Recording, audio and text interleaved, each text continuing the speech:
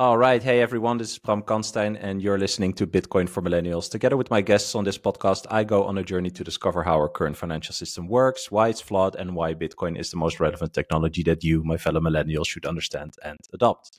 In this episode, I'm joined by Samson Mow. He's the CEO of JAN3, a Bitcoin technology company focused on accelerating hyper Bitcoinization. He's best known for his work with El Salvador's Bitcoin initiatives and his efforts in nation state Bitcoin adoption around the world. As one of the top executives in the Bitcoin ecosystem, his expertise spans from running one of the largest exchanges and mining pools to guiding the development and deployment of Bitcoin infrastructure as the CSO of Blockstream. In the past weeks, he has also been talking a lot about the Bitcoin Omega candle, which I think we'll definitely talk about, and the road to Bitcoin being worth $1 million. Um, yeah, I'm super excited to talk to you, man. Welcome. Yeah, thanks, Bram. It's good to be on. Yeah, we've been uh, we've been in touch on Twitter. It's uh, one of the things I really love about the Bitcoin space is that everyone is so approachable. You know, it doesn't really matter on how long people have been in the space. Like uh, everyone is just really passionate about uh, about what this thing could be. So uh, yeah, it's just fun to um, to talk on Twitter. And now and now we're here. Um, we're going to talk about Jan three, about the Omega candle that you tweeted about. But first, I wanted to ask you how did you discover Bitcoin and what made you not get it initially? Let me think. Well, I guess the question is, what do you mean by discover? So I first saw Bitcoin just reading the news. I used to be a uh, very prolific reader of RR, RSS feeds and um, news aggregators. So I would try to read all the news all the time. And I think, you know, in 2010 maybe, I saw Bitcoin come up and the narrative was Bitcoin's used by criminals and buying drugs and it's gambling money, etc. So I didn't pay too much attention to it. It just came up. But I think a, a few years later, I read an article about Bitcoin mining, and that was when I really went down the rabbit hole and started to understand the inner mechanisms of how Bitcoin works. Essentially, you look under the hood and there's nobody there. It's just people running ASICs and yeah. you know, GPUs and CPUs back in the day and mining it. So there's no control switch. Someone can turn it on and off. No one can modify the, the supply or anything. So that was when it really clicked for me. So was there was there a thing that made you like not get it, or were you instantly hooked? Well, when I really dug into it, I think that was when I'm I was really hooked. But before I really got into it, I it didn't click for me. It just sort of seemed like another fad or trend yeah, just like the easy dismissal that uh, a lot of people show, I'd say, right? Like it takes some yeah. time to find the thread, I'd say, that personally interests you, right? Like for you, it's mining. For me, it was uh, more like, uh, you know, the internet needs a currency, that angle. And other people really come at it from like the finance angle and stuff like that. So cool. If someone asks you, why is Bitcoin as a concept so big and important? What's your answer there?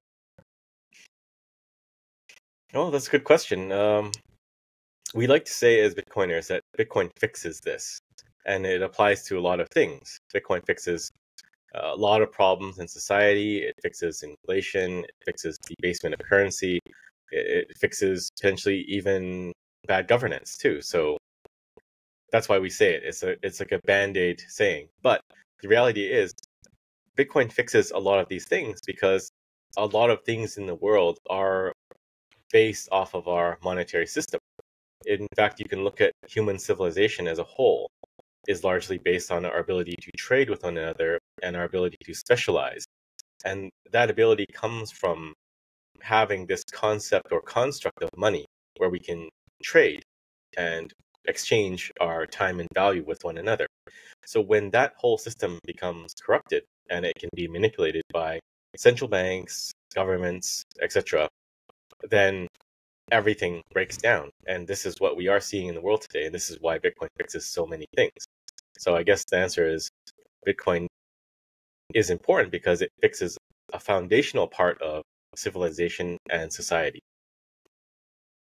Yeah, it's interesting because a lot of people also say, you know, like everything is downstream from how good a money is, right? I think that's also what what you're saying here. Why why does it take so long for people to realize that it's so broken? Yeah, we would hope that it would be faster, but I, I think the problem is you're born into a fiat world. and you're educated in a fiat designed educational system and you're inundated with fiat doctrine at all times and most people in general are very easily distracted too so uh, there's a new movie a new show and they just want to consume and watch that and in general i think people are just generally more prone to be consumers of things, information, entertainment, products, rather than producing, creating. And, and all of this put together makes it very hard for people to understand that there are problems in the world and that things are breaking down. Because if you've never known the concept of hard money, like, you know, if you were born in the in the 80s you know you're born into a world based off of a, a, fiat money system.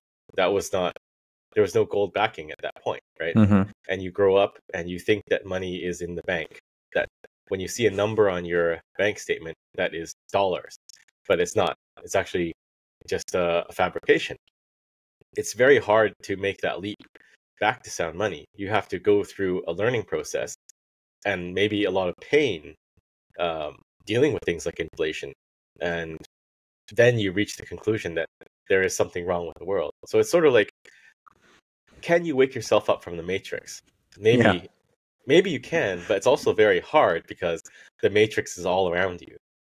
Yeah, it's really that, right? Like I knew you were going to say matrix, or else I would have said it, right? Like this is a matrix. Like the the the number you see on your screen is not real. Like it's like it, it's it's like the spoon is not there right? There is no mm-hmm. spoon. There's no there's no money, but you're still seeing you're still seeing the numbers, and it's also very comfortable, right? To well, that's also exactly like in the movie, right? To stay in the matrix, as long as you don't think like what is going on here, then you're safe and sound, and you know with the attractions that we have, um, yeah, you don't really have to think about it. Yeah, fiat money is like a security blanket of sorts. You know, you can hold it and you think you're safe, but the reality is it doesn't protect you from anything. And in fact, it might harm you. But when you take away that security blanket, you're suddenly thrust into a world of having to take responsibility for things like yeah take responsibility of having custody of your own money and this is like an alien concept for people that grew up putting their money in the bank to keep it safe whereas you know in the 1900s maybe at least you would maybe keep your gold bars and coins in a yeah. safe of your own. So yeah. it's just an alien concept now that I need to take responsibility and I need to keep my own money for myself. Do you also experience that when you talk to people who are new to Bitcoin, this realization of uh, responsibility? Like in in my like real life circle. I have a few friends who've done really well and they don't have any Bitcoin. And one of the conversations I had was my friend said, Well, if I have a million in Bitcoin, do I have to hold that myself? I said, Yeah, that, that's the point. But it was scary to him. Yeah, I think uh, that definitely is a component of the discussions. Um, a lot of people just don't want to have custody. So I think yeah. Like, as Bitcoiners, we're, we're kind of. Uh, uh, we kind of feel a bit of disgust towards people that use custodians, but I, I think you might have to rely on that as a, a mid step to getting people to self custody, just because the concept of self custody is so far removed from where they are right now. Maybe it's okay that they use a custodian or a custodial wallet because you know the shock yeah. to having your own money and being responsible for you know, thousands, tens of thousands, or even millions of dollars on your own shoulders is a big thing. Yeah. I think inducing the realization that no one is coming to save you, then I think that's kind of like the hardest thing, right? Like who would voluntarily put that on themselves? Like that's a bit crazy. Yeah. Well, it, it has a lot to do with governance as well. Uh, like, but I think one of the problems we, we ha- that we have with governance is people look to the government to save them. Like, oh, there's a virus, government save me, and then the government behaves almost like a very simplistic AI. Well, the simplest way to save you is to lock you in your house, right? Like if I want to keep you safe from all harm, I'll, I'll lock you in a jail cell and nobody will hurt you unless you're Epstein. But um, you know, the whole concept of the government saving you is sort of a misleading misleading train of thought that people take because uh, at the end of the day you have to protect yourself. You have to do something yourself. And even yeah. taking part in governance like well right now our system is largely democracies. You have to vote. You can't just hope that someone else will vote the right people in the power and that they will save you. You actually need to do a lot of things in the world. At least you should be. Yeah.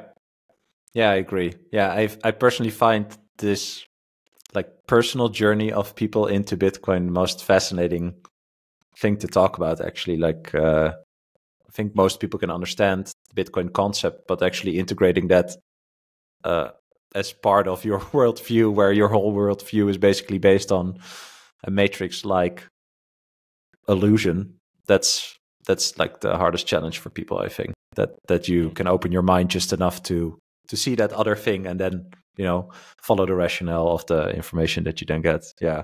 So how we'll get to that about uh, you know when you talk to to leaders of nation how how that goes. I'm super interested to hear. But first JAN3 what's your mission and why did you start it? So the mission of JAN3 is to accelerate hyper-bitcoinization or the point at which we no longer need to go back to fiat monies. And it's also helping onboard countries and getting them onto a Bitcoin standard. Because our theory is that we will end up on a Bitcoin standard, but there will be some chaos as we transition into that. So fiat monies have to be phased out, which means you might need parallel systems at some time, which is uh, a Bitcoin track alongside the fiat track, so people can gradually move over. Because if it is a very sudden cataclysmic event, then a lot of people will simply be left out and will be scrambling to get into Bitcoin. So we're here to sort of usher in as well as ease that transition to Bitcoin. Um, and the reason why we're doing this is because I don't really see that many people out there doing what we do today, engaging with the governments and trying to educate them and work with them. There are a lot of grassroots movements, but there is also an importance to focus on the top level adoption because the top level can make it very difficult for grassroots adoption if the laws and the regulations don't make any sense. And I think that is the value we bring. We can show the governments that this is a, a model for how you could adopt Bitcoin potentially, and you can implement some laws that will foster these grassroots communities and help them grow. And I think a good example of this is um, I saw on on Twitter or X today uh, Javier Milei from Argentina, the new president of Argentina. He went to the World Economic Forum, and I think he was commenting, you know, it's been corrupted by forces of socialism, and you know, I need to go there and bring it back to reality. And it's it's a similar track to what we are doing. We are engaging with governments because your your choice is either to engage or not to engage. And if you don't engage, I think the problem can snowball and become worse than if you did engage. There's almost yeah.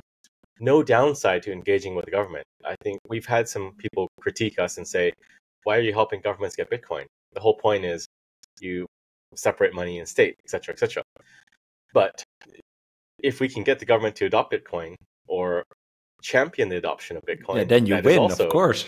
yeah, that is the separation of money and state. Yes, so, exactly. Yeah, you know, you know, there's a few ways to approach it. You could hunker down and you know be anti-government and never want to engage and just you know do your own thing. But the sad reality is the government could come after you someday, just like in Europe, they're going after self-hosted wallets, right? If there had been more engagement, more things like uh, Bitcoin and Bundestag in Germany, maybe that wouldn't have happened because you can educate them. And yeah. educating anybody regardless if it's like some no coiner or uh, the government, has really no downsides, right? The worst they'll do is say, no, I still hate Bitcoin, but they can't destroy Bitcoin. They could the only the, the only thing you that might happen is they have less bad regulation, which in my view is a good thing. Yeah. Well, but I think also because it's a it's a personal journey. Like you're talking to a person. You're not talking to the entity, the government. You're talking to a person, right? Uh, actually, today I had a I had a discussion with a financial journalist in a Telegram group that I'm in, and uh, we talked about some opinion piece that someone wrote in like the Dutch Financial Times, and he's also a reporter there. And I said, you know, like the, the, the, words in that piece were like pyramid scheme, a Ponzi, blah blah. So I was like, this is it's just so disingenuous. Like I'm just disappointed at how disingenuous this is, right? And like if you really understand this, you would not say this. And if you don't understand it, why do you pretend to say this, right? Like the stay humble thing. Mm-hmm. And then this guy replied, like, yeah, but he's right. So what are you talking about? So then I got a bit into a quarrel with with him. But then I was just thinking, like, he and I looked him up, like he learned about Bitcoin. He's been looking at this for seven years, right? And so you have people that just dismiss it because they cannot, I don't know, fathom this whole ego ego thing, basically, right? So maybe he's lost. But when you talk to someone, right, the fact that you you perfect you know your pitch and your short explanation etc like you do put the information in their head right so if they are a um, honest person or an interested person or you know they they can challenge themselves just enough then perhaps that seed is already enough because you are talking to a person and not the not the entity yeah well at the end of the day governments are made up of people so you can still yeah. engage with them and talk to them and you will have difficult people but you will have people that are receptive to the idea of bitcoin and learning a bit more too but yeah. when we engage with governments generally we try not to get into the nuts and bolts of it uh, we don't talk too much about monetary theory and all the things that we just discussed, right? We focus more on aligning incentives to Bitcoin as an asset. And the the baseline of the pitch, if you will, is really energy is now money because of Bitcoin. Yes. And we did have a little bit of this in the past with oil, right? You have oil, you can put it into a barrel and export it and convert that latent energy into money. Now you can convert hydro, um, geothermal, any other form of energy that you couldn't put in a barrel now can be kind of put into this digital barrel as Bitcoin and sold. So we focus on getting them to understand that and seeing what they want because it's not about what we want. Of course, we want Bitcoin adoption, but yeah. if you want to convince someone to look at Bitcoin and understand it, you have to come at it from their interests. I mean, at the end of the day, Bitcoin is just a massive tangle of alignment of incentives between users, miners, businesses, and all sorts of people, right? We're all intertwined in these different alignments of incentives and interests. So we yeah. try to get them thinking like, what do you need? Do you need to build an airport? Do you want um, more energy production? You want hydro plants? You want geothermal plants?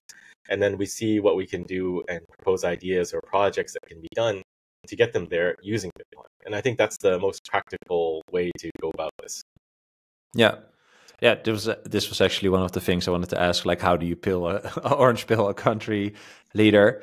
Um, and I heard you say this this what you just said before, right? Like that the energy is your eh, tr- translation you know it's the power of your country in a in a sense right like if you are lucky that you have a lot of water or geothermal uh, activity or, or or whatnot right like you can finally utilize that in um yeah more global way than localized um you know capturing that energy in a certain village or whatever right um is that then the main thing the fact that they can enable more of their like natural resources, if you can call it that?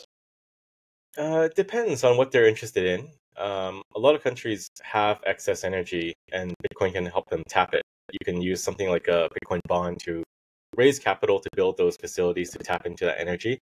Um, maybe they have a goal of um, reducing emissions or reducing dependency on uh, coal or something else, and or or methane reduction. So that way, we pitch Bitcoin mining as a way to reduce flare gas, uh, which was what we did in Colombia uh, when we met yeah. with uh, President Petro.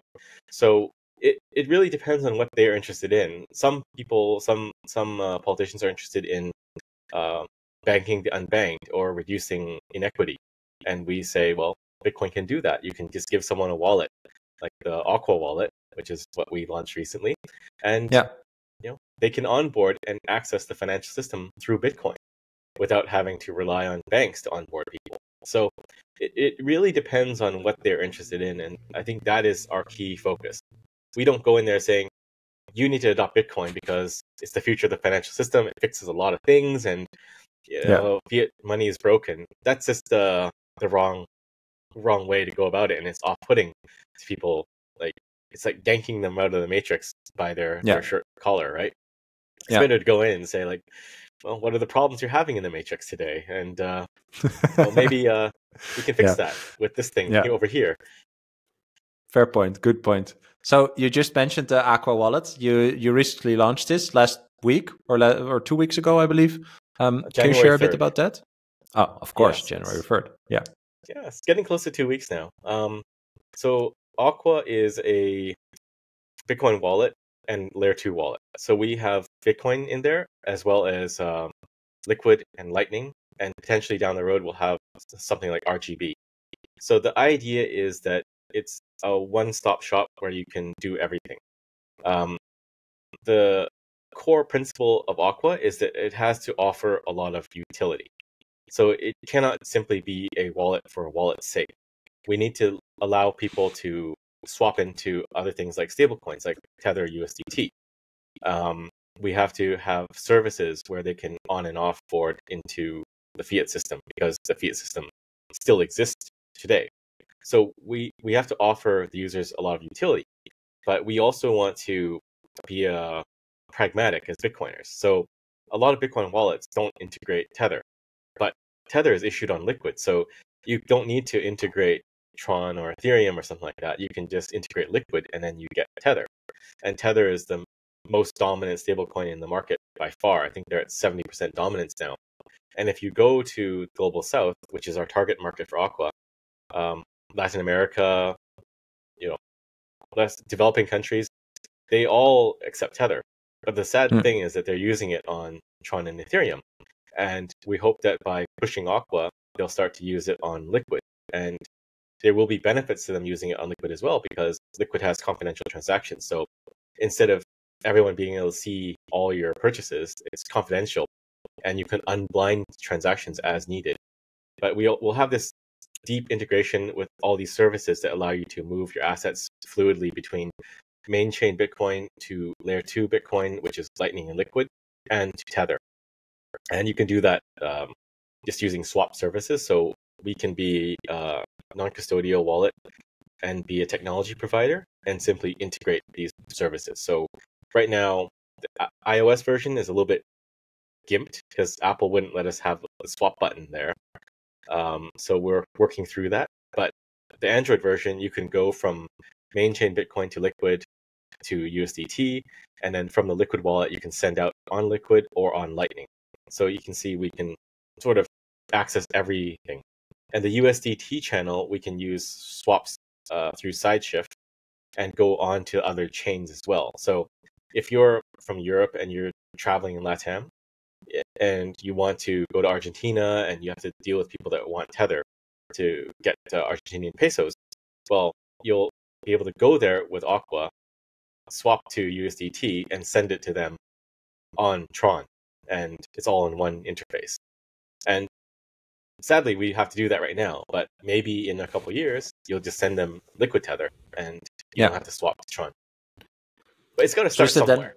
Yeah, yeah, of course. No, I love how you are also taking feedback on Twitter. There's a lot of people who are trying this out. I think that's uh, that's great, right? Like you build you build in public, in essence. I think uh, you get a you get a lot of feedback from people, and uh, I think you also shared some updates about okay, like this is already going to be in the next uh, in the next version, basically. So, but would you say that you know when you say like I'm a technology company, I'm focusing on nation state adoption, but also on on technology? Is this then also? I think you just briefly mentioned it, but like part of this strategy, right? Like if a country decides, okay, uh, we work with you, and you know, let's say similar to El Salvador, and you know, however they apply it in their country, then you also can provide them with technology that can help their citizens adopt using Bitcoin, right?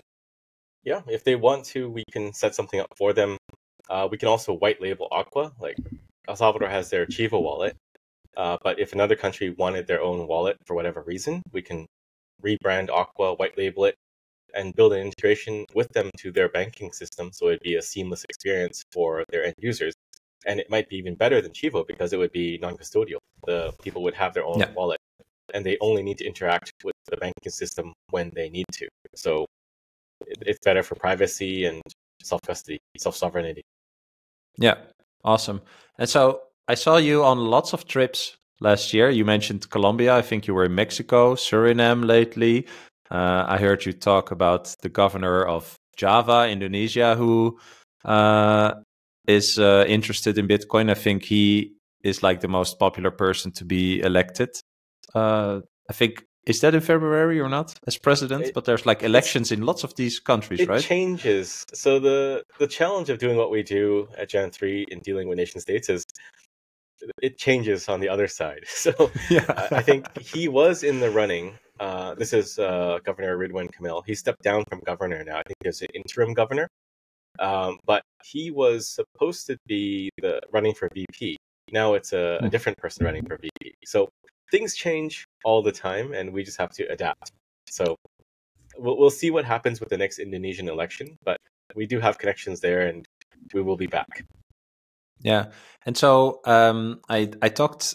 I don't know if it was with Philip actually, but in a previous episode also about Suriname, which is like a former colony of uh, the country that that I live in, and I thought it was really interesting that you that you went there because, well, I know some about Suriname, right? But there's there's so many like former colonies. Um, I think a few months ago we had uh, there were struggles in uh, Niger where France is a former colonist, right? And yeah, then someone wrote a story to explain that in Niger they still use French francs.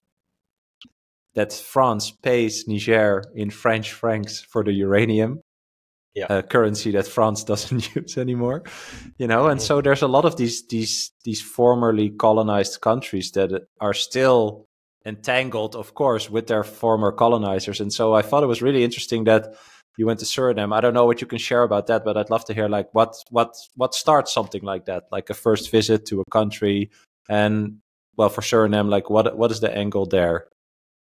Yeah, so Suriname was an interesting development. We we had that lead through Maya. Uh, she's a, a, Bitcoiner from Suriname, and um, she started uh, engaging with us and making some connections.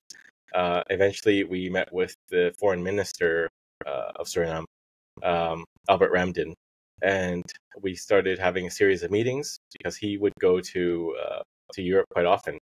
Um, and then Ben, our COO, Ben Van Hol, he would meet with him, and we also had a few online meetings with the central bank there to discuss uh, Bitcoin and Bitcoin strategies.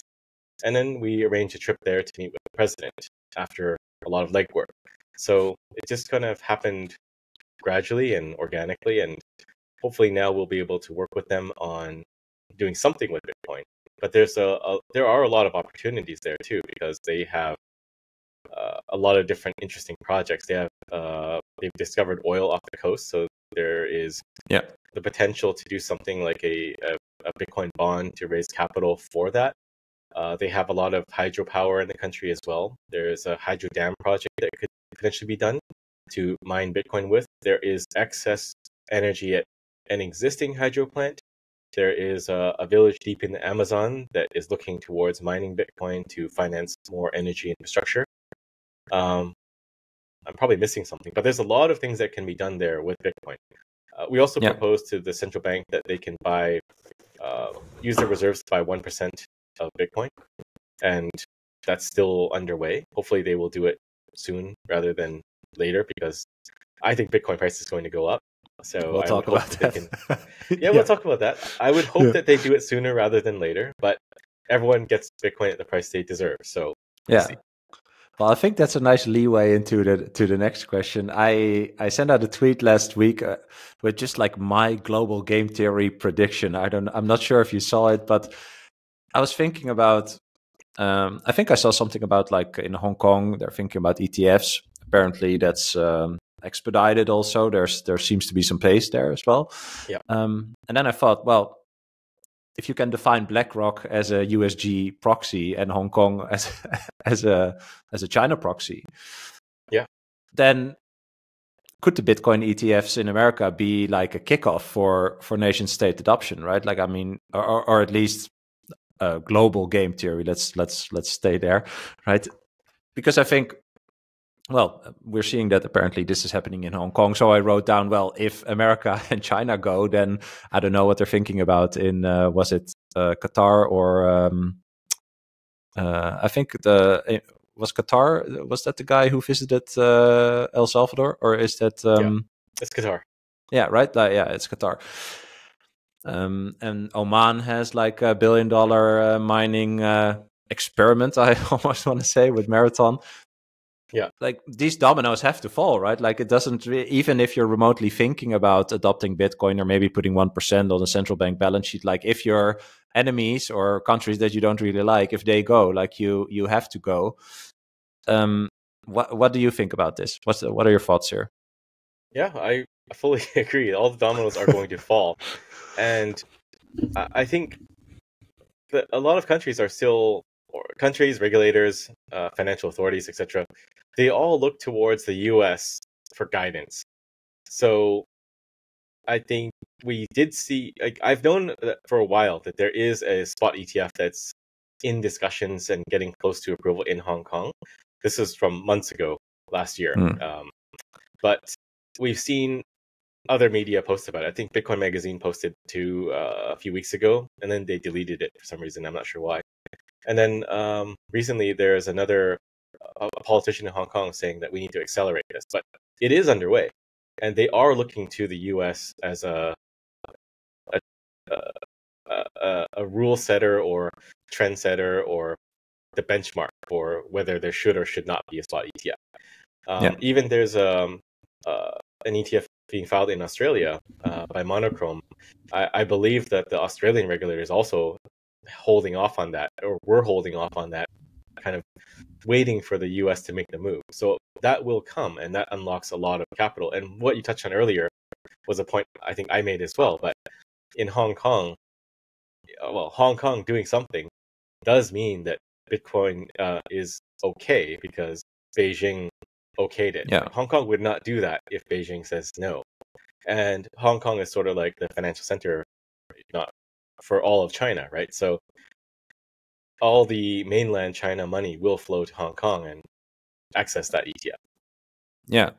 It's actually interesting. I think that not a lot of people still talk about the the banning of the mining in China and now it's allowed again and now we have ETFs coming right like that is also in some form the, cap- the capitulation I think that Bitcoin forces on the deniers. I almost want to say right, like the incentives are the, just too strong, right? That, that that's I, I, think a core of Bitcoin that you don't even have to really understand it, but when your incentives aligned, like you have to go, right? I mean. Uh, you now see, uh, I think Franklin Templeton, one of the ETF issuers, they still talk about crypto Web 3.0, blah, blah, blah. Like they don't fully understand it, but they're still doing it, right? They're, they still joined the race. So I think that's a fascinating aspect of, of Bitcoin there. And also in the ETF um, approval, actually, uh, it's it said commodity based ETF, which I found interesting, right? So if you say, okay, commodity is basically captured energy in some sense, right? Like um, lots of commodities are used to refine and build something else so it's captured energy well if you see it like that and align that with what you just mentioned as your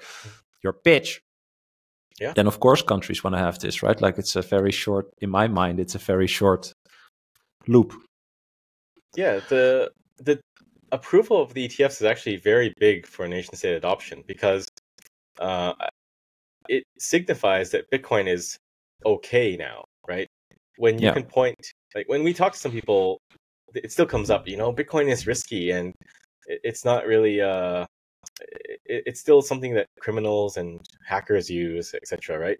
But now we can say, well, the largest asset manager on the planet has an ETF, and along with ten others. So it changes that discussion and it puts an end to that discussion immediately, yeah. which is very powerful in in the tool bag of things that we can use to orange pill nations well, that FUD is gone, basically, right? Or at least it'll remain, um, but you can for some people. the FUD. Yeah, you can yeah. squish the FUD very quickly. You know, yeah. like it, Bitcoin is used for money laundering. Well, then why is there ETF for this money laundering thing? Yeah, it doesn't make any sense, right? Yeah, fascinating. Probably. It this FUD was probably started by the people who now running an ETF, but you know, that's uh, that's that's how it goes. All right, so ETFs launched we this is the first day of the first day of trading what's what's your 2024 outlook we'll talk about the omega candle maybe that is just the outlook we can jump straight into that well, if you want. But uh, yeah, uh, personally, I think we're overdue for one million per Bitcoin in 2024, um, just based on the entire macroeconomic situation. So, I guess my guess is 2024, one million. That's the outlook. All right. So you tweeted that, you know, a bit similar to what I just said, like ETFs would kick off perfect storm and you shared a list of things that would enable that. And I'd love to just, I just copy pasted your tweet, and uh, I'd love to talk about you know these different uh, elements. But first of all, the Bitcoin Omega candle, what is that? So the Omega candle is the next step after the God candle. So we've been talking about a God candle of uh, 10k green on the daily for some time now. An Omega candle is 100k green on the daily. So when Bitcoin goes up 100k or 0.1 M. Yeah, I saw you define Bitcoin now in millions. I think that's actually pretty good. We should we should keep that. I think the unit bias in general is a really big thing in in Bitcoin, right? Just for the ETFs, people buying uh, twenty five dollars or forty five dollars ETF shares. Um, but yeah, some people and some organizations, some countries will only start paying attention at one million, probably. So um, yeah, I think that that's a great switch. Um, First thing on the list was the ETF ad campaigns. I'm personally really looking forward to the Super Bowl. Like, I'm just interested to see what they come up with. I mean, there was a Coinbase commercial, I, I think it was last year or maybe even the year before. Um, so I am expecting multiple Bitcoin ETF um, ads. But yeah, why, why did you write down ETF ad campaigns? Well, I think this ties into another tweet thread I did a couple weeks ago. But uh, the premise is all of these ETFs are competing. They are competing for AUM. Uh, and I don't think all of them are going to survive. It's going to come down to maybe three, four of them that are the dominant mm-hmm. ones, and everything else is just, you know, no one cares. So they have to fight for market share and mind share. And the way that they do that is through advertising and we've seen that already. So Bitwise has a pretty good ad out there with the uh, most interesting man. Um, yeah. I think uh, who was the other one that did an ad? VanEck did an ad. I don't think Fidelity's done one yet. No. Um, it was the BlackRock DeFi also not guys. really. It was the DeFi guy, uh, the DeFi ticker. Is that Hashdex? Yeah, Hashdex. They did one, but it was kind of floppy. Mm. You know, it was like crypto, and then they did another one. Yeah. It was mm, not that great. There's also another one that was kind of like like a Fiverr thing. I thought it was like a yeah, Fiverr. Yeah, Grayscales was a Fiverr one. That was basically I I, I commented Fiverr that you quality. Replace, you could replace Bitcoin with the word copper, and the ad would work flawlessly. Yeah, I agree. You know, yeah, we're the biggest copper ETF. Yeah, if you want copper, yeah. yeah. Grayscale. So yeah. yeah, uh, we know that they are doing ads and they are getting Hollywood talent. You know, the Bitwise ad is the best indicator of that. So the question mm. is, what is the next level? And yeah, next level Super Super Bowl with the A list star. So we'll see what yeah. happens. Yeah, probably. I also saw in the video. What's the? Is that Galaxy with Novogratz? They had like a video of of Mike Novogratz talking, and then he's sitting on a couch and he opens a paper, and there it's like a full page ad you see on the paper of their ETF. So they're doing like all these classic things. But yeah, I uh, I think the premise of we just need the biggest AUM and therefore we do marketing. Yeah, let's uh, let's see let's see where we go. Yeah. Uh, next point on the list was nation state adoption. Well, we just talked about this. Um, I don't know if you can share anything, but why, you wrote that down for a reason? Is that I am assuming that's not a guess. Well, we're working with a number of countries, right? So there's Colombia, Suriname, uh, Prospera, not a country, but a special economic zone, uh, Madeira, and Montenegro. There's a lot of countries that we are engaged with, and you know there are more that we haven't talked about yet. Those are in the redacted column. But okay. There's a lot of work to be done, and I think as Bitcoin price goes up, as the ETFs solidify, and as these ETFs make their ad campaigns, it makes it a lot easier for us to engage about Bitcoin. Like when Bitcoin price tanked after FTX and Do Kwon, that was a very difficult time. But even before we recovered to these levels, we started to get some re-engagement again, mm. and that's why we had those meetings towards the end of um, 2023. But if Bitcoin does go to uh, 0.1 m or higher, I'm sure there's going to be a lot more countries coming and trying to engage and figure out what to do. Yeah.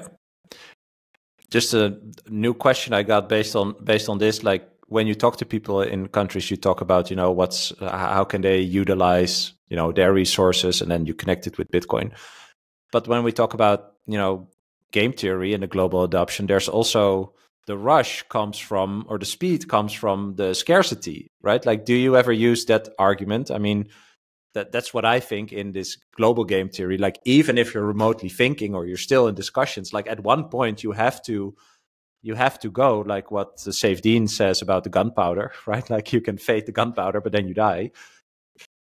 Do you see that yeah. as the same thing? Like eventually they're gone i'd say. Yeah we actually i'm just trying to think no, we, we haven't. When we talk to the presidents, we don't talk about scarcity. I think oh.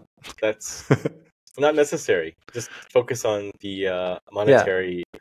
aspect of it and the ability to change yeah. things in the near term. That yeah, because once you go into scarcity, you go into a monetary theory, and that's like another kind of worms. And you have to understand that when we get to the meetings with the presidents, it's not like we get you know five hours over yep. yeah. days. No, like five hours today, five hours tomorrow.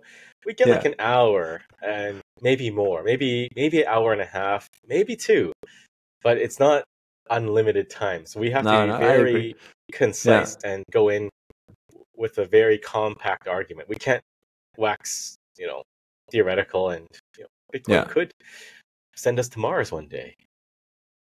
I mean, that's what killed Dave Portnoy, right? I don't, when the Winklevi, yeah. when the Winklevoss yeah. twins were telling him, uh, you know, gold can be mined on asteroids. Elon's going to mine the gold and bring it back. That just blew his mind to pieces, and he never recovered. no, okay. Well, I don't, I don't think I was that far, but it's more like in my mind, it's kind of like the second thing because one, if you understand that Bitcoin is digitized energy and you can use that the leverage that you have to turn physical energy as a country into digital energy in a commodity and then trade it across the world. Yeah you can do that but there's also that scarcity part in it. So yeah it's just where my my mind went but uh, we'll we'll see. i think it's just uh, yeah. the scarcity will man- manifest itself in the price of that asset that you're trading that, that is true. trading. Yeah that's the so, proxy for it. Yeah i agree yeah, it's it's a simpler way to not go there, but yeah, talk about price appreciation. We talk yeah. about projections, like you know, our our estimate is sixty percent annualized uh, growth per year. So in ten years, you know, three plus million dollars. That's very conservative. Yeah. So we, we focus on that. Like the scarcity manifests itself in price, so it, it's gotcha. covered. All right. Next point, the halving. The halving. Well, that's self-explanatory. Supply gets cut. yeah.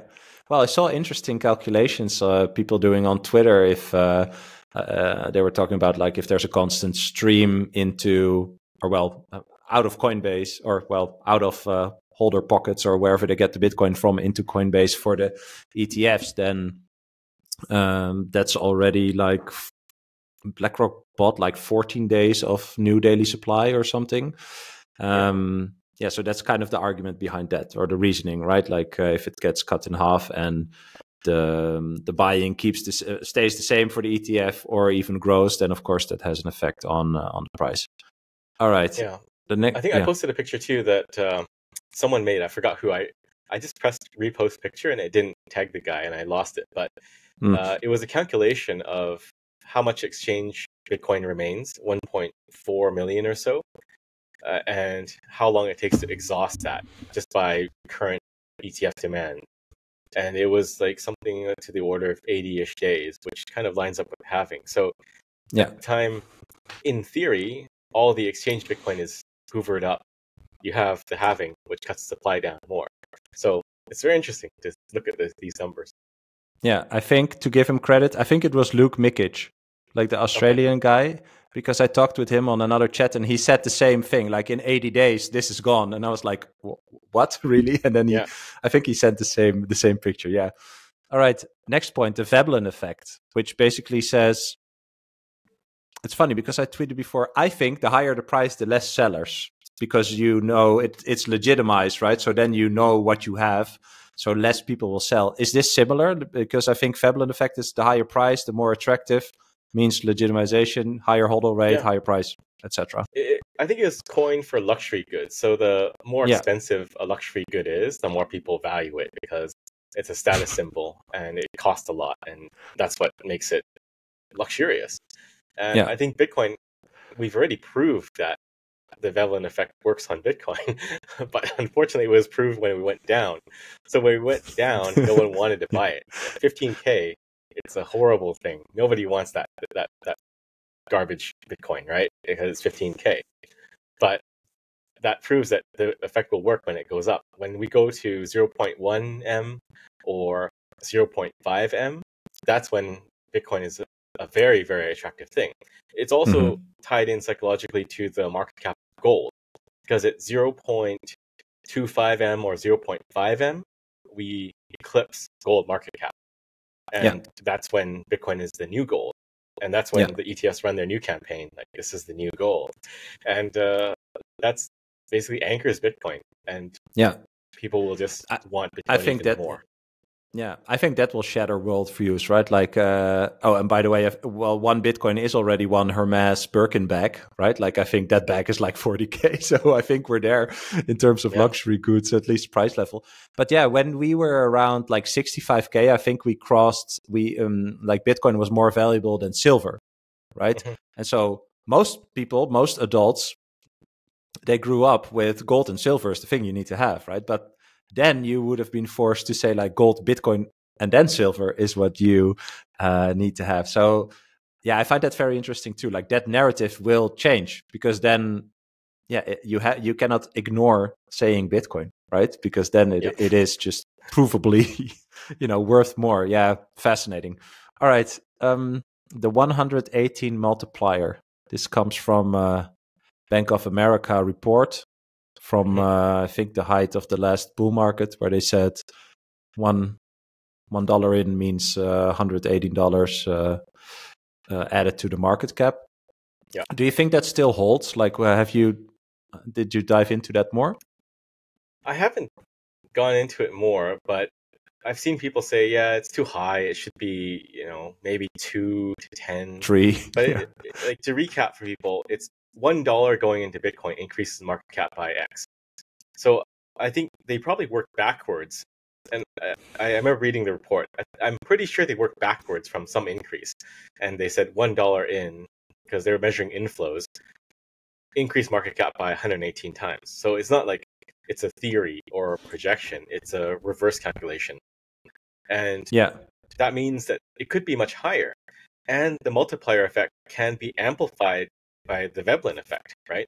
So at 500k, or sorry, 0.5 m per Bitcoin, I think a dollar there would have a far bigger impact than lower because it makes that luxury good even more luxurious and even higher in demand. So we'll we'll see what yes. happens, but it's a combination of all these factors. I mean, jumping ahead to supply and demand shock. How yeah. does supply demand shock Veblen effect, and multiplier interact with one another because there is an interaction there. These things don't yes. just work on their own. They all amplify one another. And this is why I made the 1M prediction because nobody really knows what happens. This is the the Bitcoin ETF is the first it's the first ETF time yeah. of a a good with limited supply. You know, mm-hmm. you have corn ETFs, gold, copper. You don't know the supply. It always goes up. Gold is what two percent a year uh, supply increase, something like that. But everything in the past was not bound, so there's always more. But yeah. you know, Bitcoin is different. So yeah, I, we'll, we'll I agree. I agree. I I like the um the predictions and and I think it's good you say like nobody really knows, but I do think and I agree, you know, but I do think you can pinpoint to some of these things and say like this could get really weird, like really weird, right? Because yeah. what you mentioned, the the multiplier, at least it's proven up to a certain point. I think we saw something similar with the fake ETF tweet, right? Mm-hmm. Where I think like 500 million max came in in 30 minutes and it moved the market cap by 50 billion. So that, that was a, that was 100. Um, yeah. I think we've already seen in the last week something uh, because the price went up before the grayscale sell-off started. So there you already saw it a bit. And I agree, if the higher the price, the less sellers. Yeah, this is going to go up one way or another. And that's going to cause, that's the next point, max pain. I like the max pain theory. Is that just, you know, you think you're going to go this way, but it's probably going to go the other way? Or like, how would you explain max pain theory? Well, max pain theory is, in essence, is um, it's like a, the most painful outcome, or Elon Musk puts it, the most interesting outcome is most likely outcome. Entertaining, but, yeah, yeah, uh, entertaining. So the yeah. most painful outcome at the end of the day, like I made a list of max pain points, um, mm. but the the most serious one, some of them were jokes. Like I said, Plan B's uh, stock to flow is going to break again, but up this time. Yeah, but uh, the real max pain is that eight billion people on this planet will not get a chance to enter Bitcoin in a way that would impact their financial lives in a meaningful way. So yeah. we know that there is a divide. There, there's the Cantillon effect and Cantillionaires, and the thinking is, well, the best case thinking is everyone can get into Bitcoin. Your, your average Joe in you know in a working job can uh, accumulate some Bitcoin, and when Bitcoin goes to a million, it'll even out the system. So, or, or, or some guy in Latin America can accumulate some Bitcoin because typically they're earning pesos or something, and they're not able to keep up with dollar, the dollar even. Let's not talk about Bitcoin. But the ideal case is that Bitcoin can unify and even out the playing field because we all have a little bit of Bitcoin, and then Bitcoin goes up to a million. We're you know, balanced out with the the people that have control of fiat money.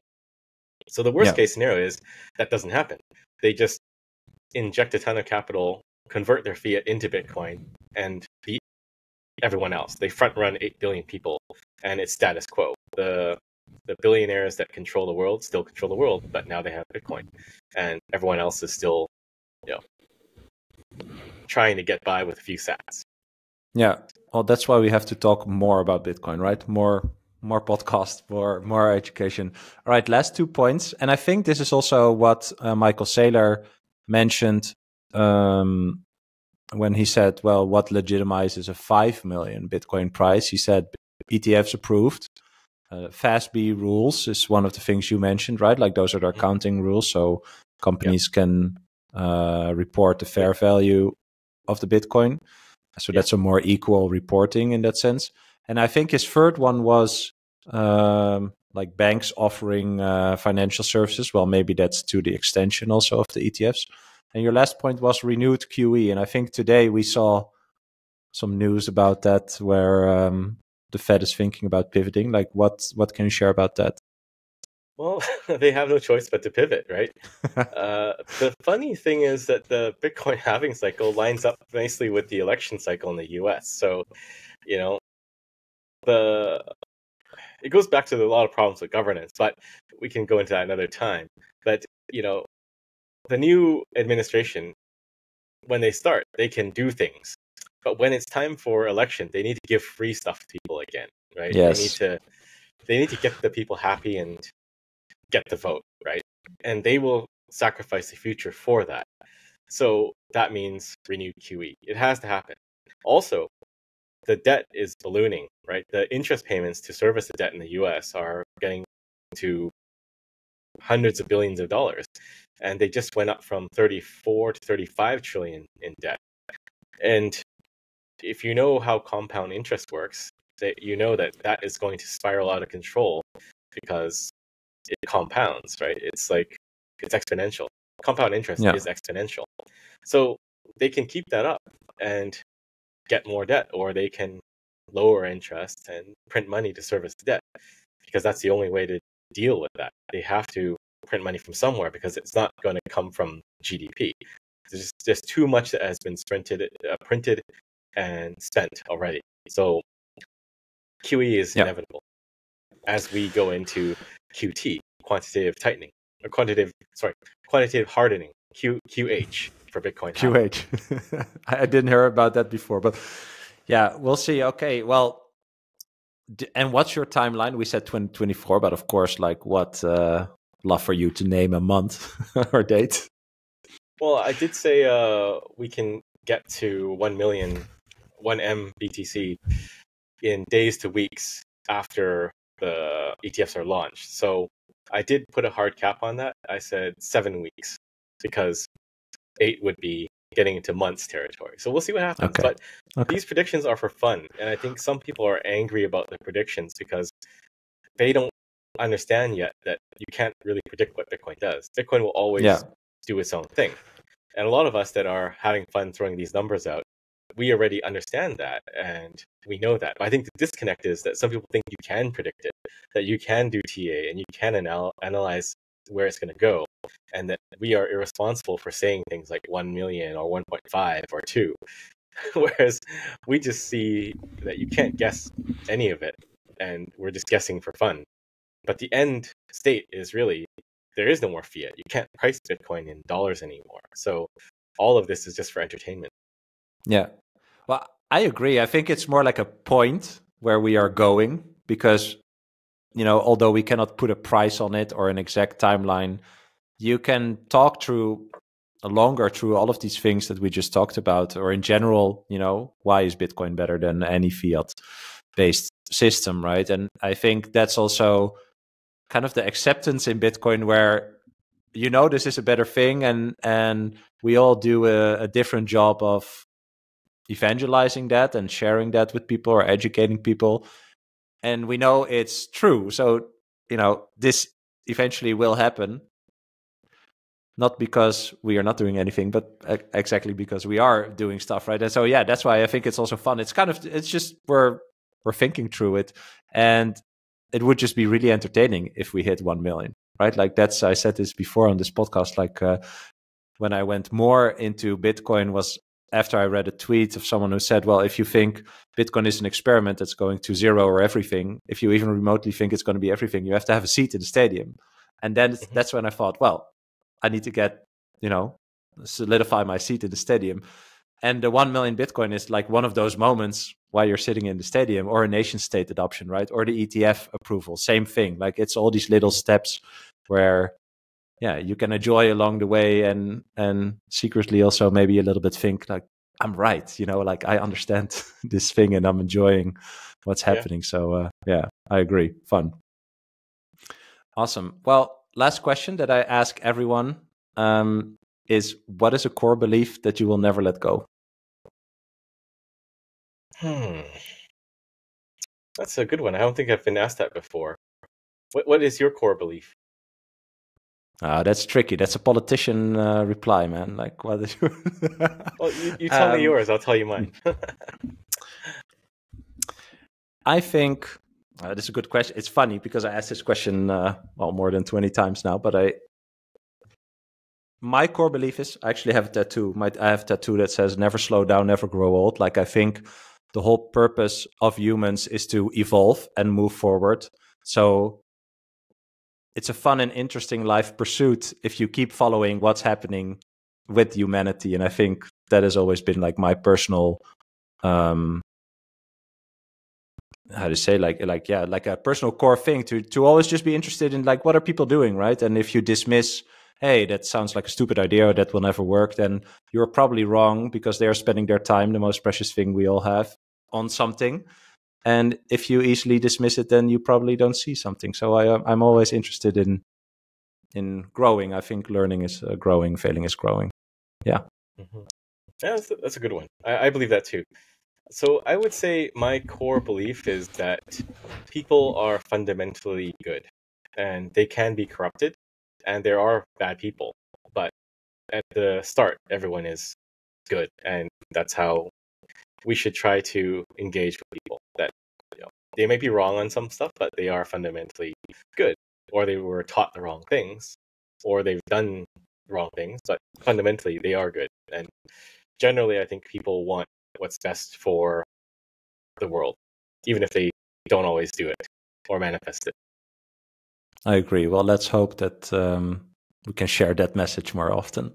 Thanks, man. Um, yeah, really appreciate it. Thanks for talking. And uh, yeah, of course, I will link to your social profiles, JAN3, Aqua, and then people can follow your journey with JAN3. So uh, yeah, thanks again for coming on. It was a real pleasure. Yeah, thanks, Bram. It's fun. Thanks. I hope you enjoyed this episode. If you did, it would be amazing if you could rate, review, and subscribe on the podcast platform of your choice. It will help us educate more millennials on the importance of Bitcoin. You can follow and connect with me on Twitter. I'm Bramk, that's at B R A M K. And if you are or know someone who has an interesting perspective on Bitcoin that's worth sharing, hit me up. I read and reply to every single message. I appreciate your support and hope you'll be here for the next episode. Thanks for listening. Bye.